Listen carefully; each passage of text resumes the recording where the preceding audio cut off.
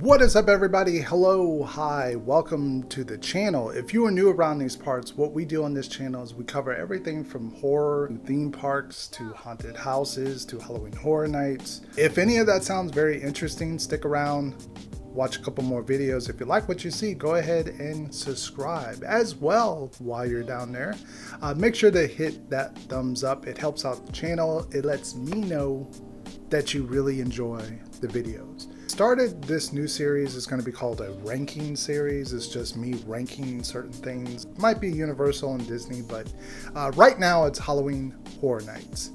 And what I'm going to be ranking on this video is their best commercials. Now, I'm setting aside my emotions from, you know, actually going to certain years and loving certain years more so than others or certain icons. I'm just keeping it strictly on the commercial itself. Was the commercial good? Did it drive attention, I think, to the event if you didn't probably already know about the event and you just caught this commercial? Was it done very creatively? That's kind of my criteria for why I picked these five to be on my list. So without further ado, let's get to number five.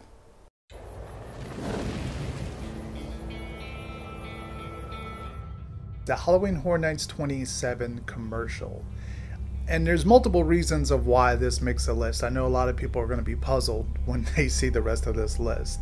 Um, Halloween Horror Nights 27 was a tremendous, tremendous. I'll just go with another word. It was a phenomenal, huge year for Halloween Horror Nights 27. Um, they were featuring American Horror Story, The Shining, which people never thought they would get. Saw was back. Um, a lot of good houses in that year as well. But this commercial was phenomenal, multiple reasons. And one I'll go with the first one is it was directed by Eli Roth. And yes, we've had celebrity directors before on on commercials, but this is the first time we had somebody that was sort of a big name in Hollywood. Well, I guess I mean I would say was a big name in Hollywood. And the fact that it was really cool because just the commercial itself featured so many Easter eggs of things you can see. I mean, there's so many things in here that you can pinpoint and say, oh, that's cool, or what's that, or what's that in the background, or what's that creature. And probably my favorite part, and I'll go back and show you. As soon as the victims walk into the party, my the funniest thing I think I've ever noticed about this commercial is the voodoo guy from the American Horror Story chilling on the wall to the left of them. He's just like hanging out, like, yeah, you know, man, I'm, I'm hoping to take some of these victims home tonight. It's just hilarious that he's just sitting there, just randomly, just like out of nowhere, not doing nothing but just chilling. It's so creepy. But um, it's it's also just so cool to look around the room and you can see so many different like things that you just want to see more of that are you know vampires are in this commercial. It's, they look so creepy. There's so many easter eggs in here. And also the lady death i believe that's lady death. I think she was supposed to be our icon for that year because there was a lot of stuff with the roses and and your soul has been requested. Um, and i believe me personally i believe that was our icon but they didn't choose to go with it that's why it was such a predominant part of this commercial. Um, but it was also cool to see Eli Roth direct other properties because normally you never see directors do that. They they stay in their own thing. They don't want to touch another director's stuff. So I thought that was cool to see how it would look if Eli Roth did a Saw movie or how he did American Horror Story episode or The Shining so it gave you kind of like a look into his mind of how he would color things or show things in certain ways. Um, but yeah, that's why it makes number five for me. Coming in at number four was Halloween Horror Nights 25 commercial. Uh, a phenomenal anniversary year. It was big. They brought back Jack and Chance, and they did it in a very, very perfect way.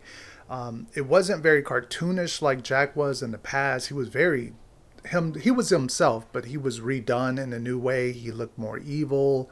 Something about the coloring on this commercial and just overall creepy factor. Chance looked creepy. It was just beautifully shot. I mean, there's some gorgeous shots in here. I don't know who directed this, but they did a phenomenal job for Halloween Horror Nights commercial.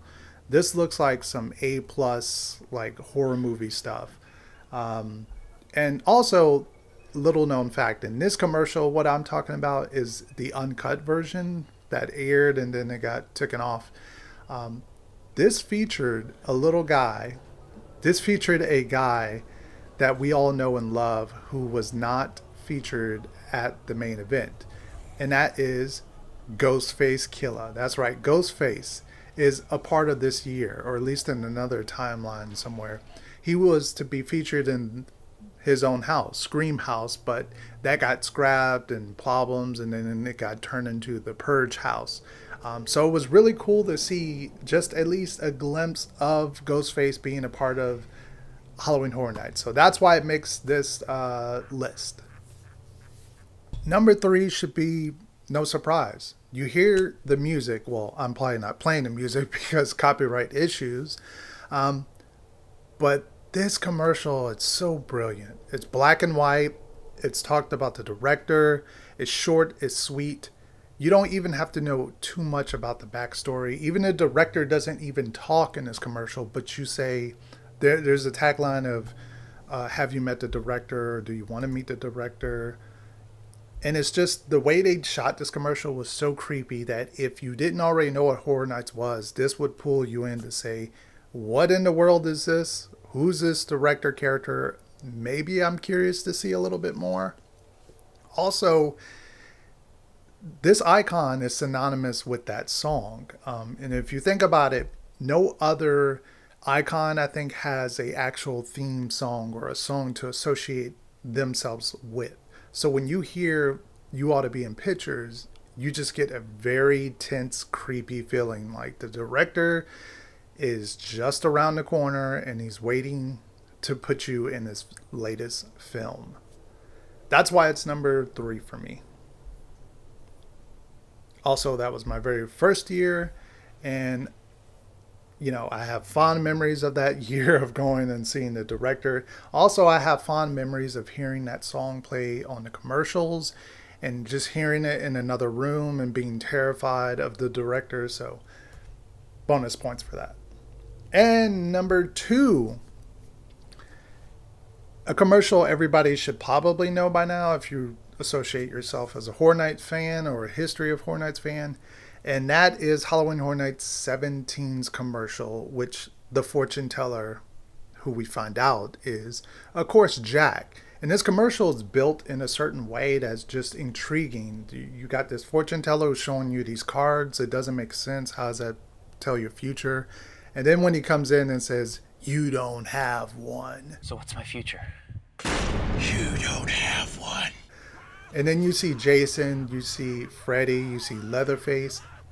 This commercial, you know, it's like dollar signs all day, all day dollar signs. I mean, you see that and you're like, I want to go to that event. I don't know what this Horror Nights is, but wow, they got those three at this event. I want to go. So kudos to them on the marketing. Also, it introduces Jack, and you know he's sort of the icon that year, the ringleader. He's bringing them in. So it does a fantastic job. That's why it's number two. Number one for me is, and everybody should probably know this by now about me, it's one of my all time favorite years. Not the favorite houses, not the favorite zones, but it's my overall favorite year, and I think Universal will never top this year. And I'm willing to eat those words in case down the line they do, but I don't think they'll ever top this year for all the elements that went in place. Number one Halloween Horror Nights 18 Bloody Mary. The commercial. Woo, boy. Oh man, this commercial outstanding, fantastic. The makeup, the creepiness, just pulling you in, and them not even showing Bloody Mary as her face. They're just showing you little glimpses and her side of the world, and that she's on the other side this mirror, and this guy is calling her out, and then Bloody Mary, and bam, she comes through the window or the mirror. excuse me. She comes through the mirror. You see her face. It's creepy. It's pulling you in. You're like, yes, yes, yes. I want to see more of this. Bloody Mary, fantastic job. And I'm going to geek out a little bit and talk about just from the standpoint of the website and the music and the story and legendary truth and the billboard and the fact that they had the video montage uh, screen at the front of the park. Just coming up to the arches and seeing her and how creepy that was. Oh man fantastic. They will never ever probably be able to do that again. Thank you guys for watching. If you agree or if you disagree with my top five let me know down in the comments section what was your top five picks for the HHN commercials. As well, go ahead and subscribe if you like what you saw. Go ahead and leave a thumbs up. It helps the channel out, helps me know that you really enjoyed this type of content, and that way I can make more in the future. Thank you guys for the likes, the support, the subscriptions, the subs. Uh, thank you guys, and hopefully you have a great day. Zombie Chris, out of here.